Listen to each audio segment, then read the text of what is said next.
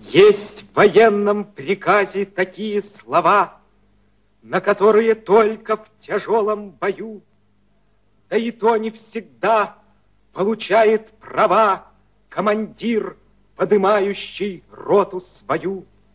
Я давно понимаю военный устав и под выкладкой полной не горблюсь давно, но страницы устава до дыр залистав, этих слов до сих пор не нашел все равно.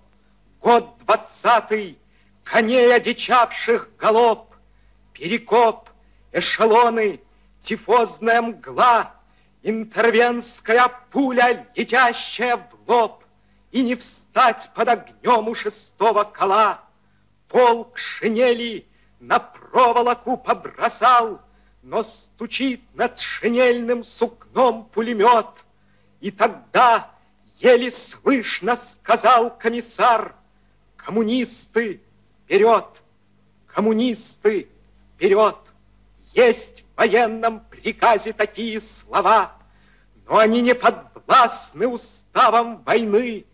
Есть превыше устава такие права, что не всем получившим оружия даны, сосчитали штандарты побитых держав, тысячи тысяч плотин возвели на реках, целину подымали штурвалы зажав в заскорузлых, тяжелых рабочих руках и пробила однажды плотину одну на Сверстрое, на Волхове или на Днепре, и пошли головные бригады ко дну под волну на морозной заре в декабре.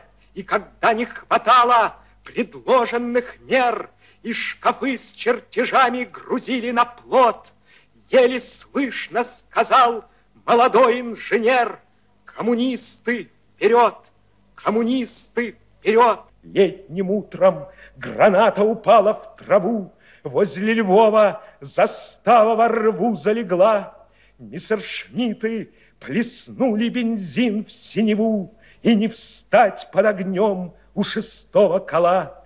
Жгли мосты на дорогах от Бреста к Москве, Шли солдаты от беженцев взгляд отводя, И на башнях, закопанных в пашни КВ, Высыхали тяжелые капли дождя, и без кожуха из сталинградских квартир бил Максим, и родимцев ощупывал лед. И тогда еле слышно сказал командир, коммунисты вперед, коммунисты вперед.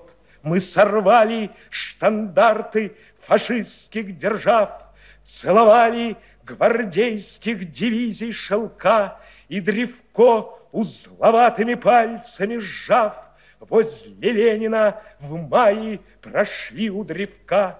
Под февральскими тучами ветер и снег, но железом не стынущим пахнет земля, приближается день, продолжается век, индивеют штыки в караулах Кремля повсеместно где скрещены трассы свинца, где труда бескорыстного не в проворот, сквозь века, на века, навсегда, до конца коммунисты вперед, коммунисты вперед.